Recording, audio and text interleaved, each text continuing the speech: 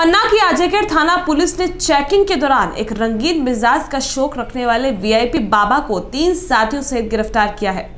Police ने इस बाबा के पास से एक वीआईपी अंग्रेज़ी तमंचा सहित सात ज़िंदा कारतूस भी बरामद किए हैं। इसके अलावा साधु के साथियों से भी एक देसी कट्टा और छुरी बरामद हुई है।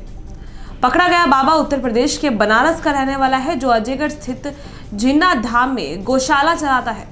बाबा तूफ़ान गिरी अपनी मारुति गाड़ी से अपने साथियों सहित तूफानी रफ्तार में गुजर रहे थे। तभी पुलिस ने शक के आधार पर बाबा को रोका और तलाशी के दौरान अवैध हथियार और शराब सहित साथियों को पकड़ लिया। पुलिस ने इस बाबा के पास से जो गाड़ी बरामद की है उस कार में योगी राज लिखा हुआ है। आए थे थाने में। अच्छा। रात में हम थाने में आए थे हमको कुछ लोग लेके आए थे। वहाँ खाना देना है। अच्छा तो किसी को खाना देने के लिए लाए थे। अच्छा। तो थाने में आए थे तो बस यहीं बैठ गए। वैसे आप कहाँ के रहने वाले हैं और यहाँ कहाँ आए हैं? हम कैसे आना हुआ जी हम वाराणसी के रहने वाले हैं। यहाँ झन्ना धाम में गौशाला चलाते हैं उसके हम अध्यक्ष हैं।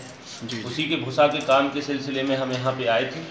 तो इसमें किसी ने भी गाड़ी में जो कुछ भी जैसा भी रखा हो तो गाड़ी में इन लोगों को सामान बरामदगी हुई है जो भी हो। तो ऐसा। वाराणसी के हैं जहाँ गौशाला गाड़ी किसकी थी? गाड़ी गाड़ी? एक की भगत की है किराए पे हर साल भूसा के लिए देता है वही दिया।